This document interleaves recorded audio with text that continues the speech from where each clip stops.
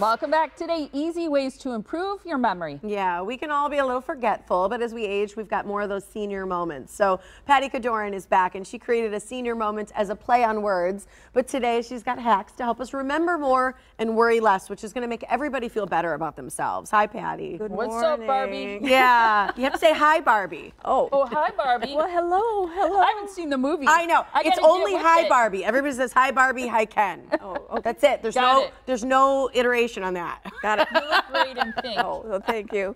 But today I thought we'd share some easy hacks to remember what you need to remember or remember what you want to remember and really lean into the traditional meaning of a senior moment today. Okay. See, I like that because senior moment kind of gets a it- it gets a bad rap, and this Yeah. is a positive thing. But we are talking about memory, which I think is good.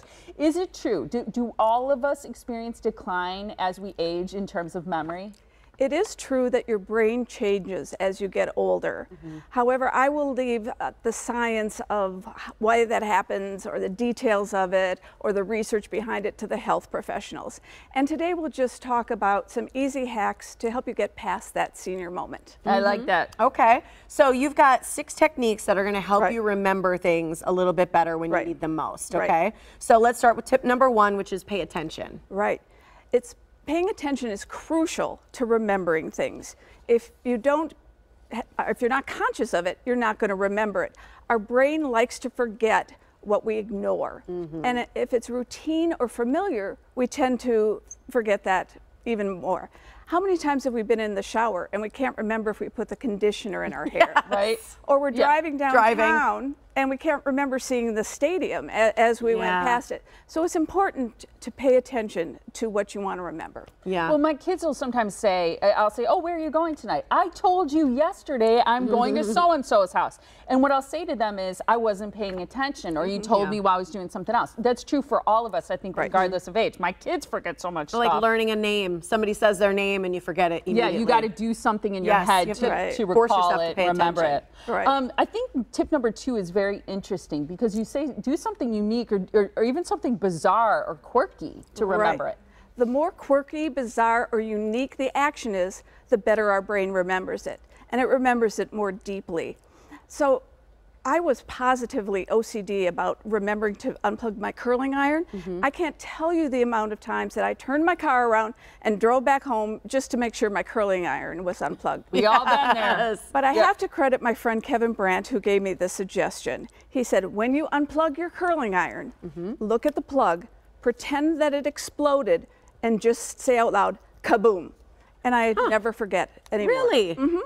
That's just simple. Interesting. Mhm. Yeah, Okay. something, something. Something bizarre. yeah. Yeah. And i- imagine an explosion. Most of us are going to remember something that explodes. My friend, because she has a fear of that and she's a bit OCD, she'll take a picture every time she leaves. And I'm like, that's so much work. And then I would forget, was that picture from today or yesterday?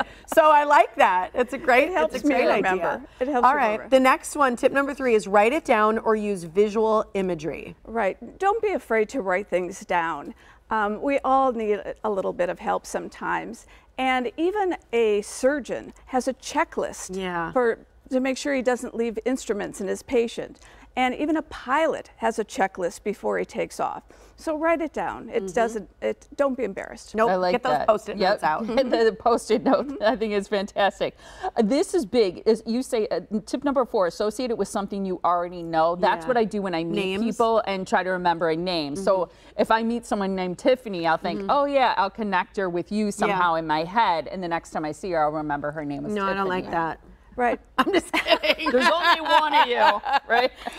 if, if we connect a new memory with a long-term memory, Yeah. it, it helps. And you were talking about names. For example, people say if you repeat the name when you meet somebody, that helps. Right. So if I were to meet Tiffany, I'd say, Tiffany, it's nice to meet you, so out loud. out loud. But in my head, I would be thinking, breakfast at. Yeah. And then I can associate it with, with something. Yeah. And when I meet Molly, I'd say, Molly, it's nice to meet you. But in my brain, I'd be thinking, good golly, miss. And so every oh, time Oh, I yeah. see you, I think of that, and then I remember your names. Cute. That's cute because you probably end up saying it at some point and you'd be like, that's adorable. I, I hope I don't think it out loud. Yeah, that'd be really cute. I like that. Number five is use chunking.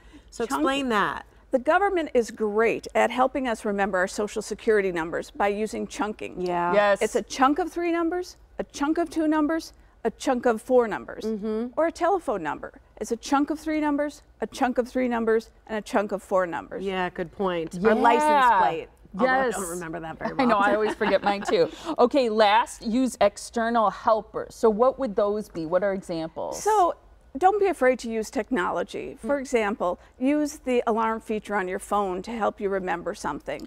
yes. do Or that all I, the time. I came across these wonderful little pill bottles. Okay. Oh. you them. They have a timer in their cap. Oh, so once you open and shut them, the timer starts again. So if you had to take a pill this morning and No it was way. noon, Look at that. you would, if you you can. So did you it, buy these top it. somewhere Yeah, separate? I got them Oh. on Amazon. No Oh, way. I That see. is the coolest thing Yeah, And then ever, put it Patty. back on and then it Th- starts. Then the timer starts, and if You it's 12 that? noon and you're supposed to take an 8 a.m. pill, it would say four, Oh. you know, four hours. That's cool. If you Look forgot at that. to take it, it would say 28 hours, and you would know, oh my gosh, I should have taken this pill four hours ago. So cool, Patty. I That think is that's neat. so. You got these on. You know, everybody's gonna want to know. You got these on Amazon. On Amazon, they were very, very cheap. I just And what do you call them? Pill timers Um, or caps? pill bottles with timers in their cap. Timer cap. How about Yeah. that?